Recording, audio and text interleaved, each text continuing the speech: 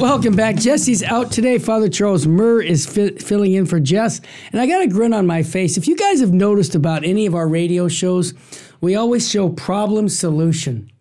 Problem is Oh, gee, Terry, I, I thought you were going to say you've got a grin on your face because Father Murr seems to be getting younger every time I see you. Well, No, well, go I'm ahead. not sure ahead. about that. Where, where were you going with the, where, were you going with this we're other idea? the solution, and that is orthodoxy.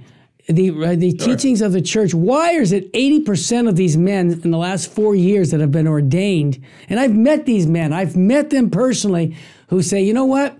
We're going to stick to the deposit of faith. We're not going to deviate. We know that, you know, when we were in seminary, we got things that were just not part of what we uh, could consider, consider Catholic. But, you know, we grinned our teeth. Right? We were grinding our teeth, but we just looked at the situation and said, I got to get ordained. When I get ordained, uh, I'll just, you know, wear the cassock. I'll, I'll be a traditional Catholic priest.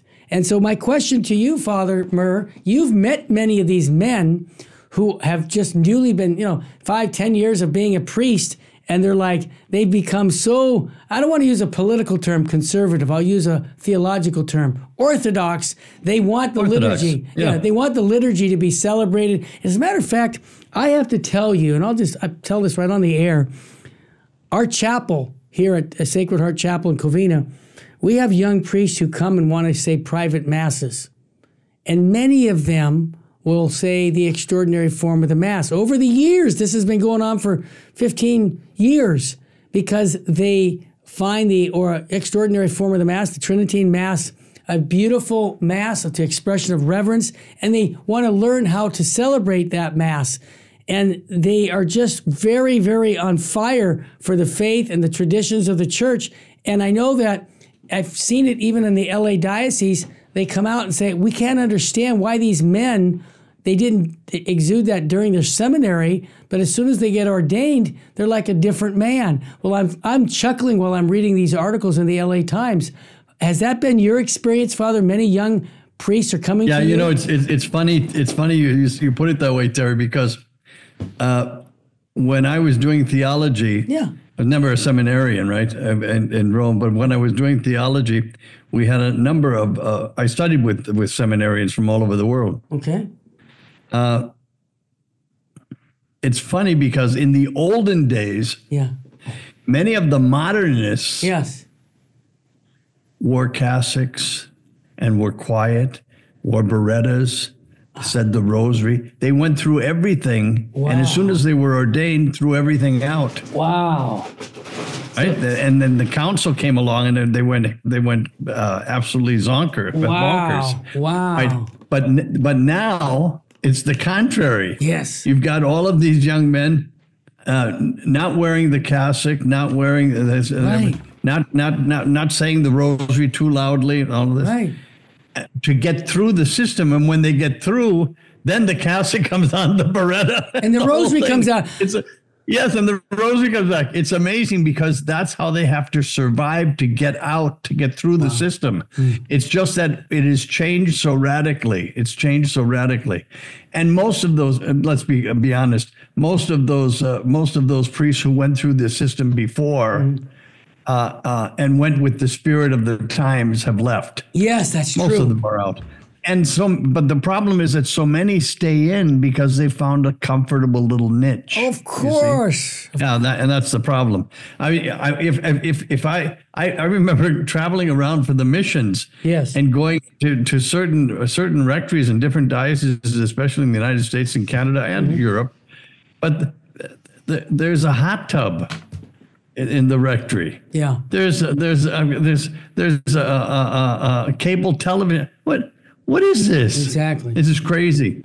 That is fading out. Good. And what's taking its place, uh, uh, thank God, Yeah. are good men, are good men with solid principles, uh, theological and philosophical principles. Thank God. Yeah. But it's going to take it's going to take a long time to to Yeah. rebuild Sure.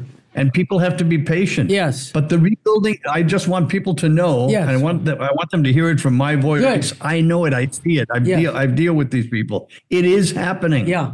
Definitely. It is happening, and it's happening quietly right now because, especially Rome, Yeah. is so against all of this. Right. So again, again, you've got good priests who have to go back to the catacombs. Be It's- quiet. true. be- for the for the time being. Yeah. But you know, this is what we go through. The church is going to be around until the end of time, and then it's going to be around afterwards in heaven. Exactly. Glorious. You know. That's, Church that's triumphant, yeah.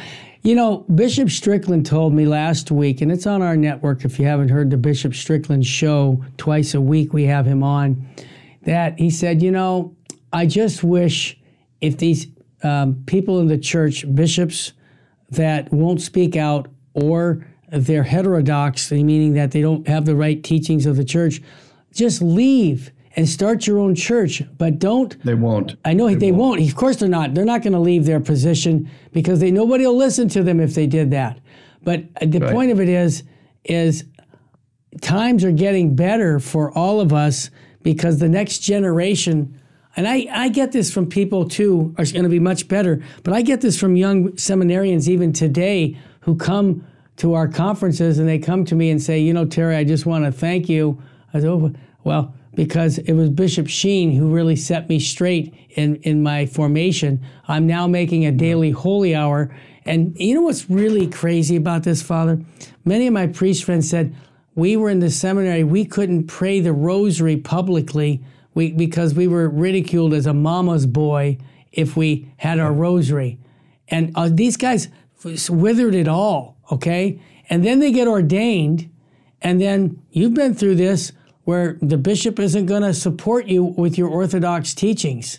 And you have to navigate through all of that. It's not an easy life Right, when you're right. Orthodox in the Catholic Church today. What advice would you give, uh, not just priests who, because you talk to a lot of priests that are frustrated with, let's just say, the ambiguity that's coming out of Rome, but for lay people, because I've we've had the same question at the end of many shows, and you always give the same answer, but it's important.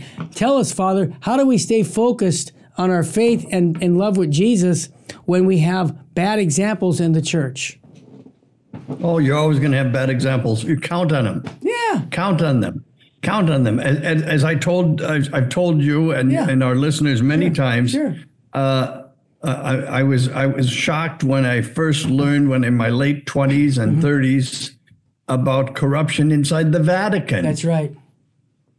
and and Monsignor Marini, who worked in the Secretary of State, Yes. said to me, "How can you be so na- naive yeah. as to think that where the greatest good is, there's not going to be evil right across the hall?" Great point. Great point. I mean, this is this is it. So, I, as a matter of fact, Tell me. the evil that exists within the church, the corruption, is actually a witness That's right to the truth. to the church's value. That's right. I mean, uh, seriously, I mean, I it, it doesn't take much to understand that, and it's true. Well, that's what that's what we need. We need. We also need.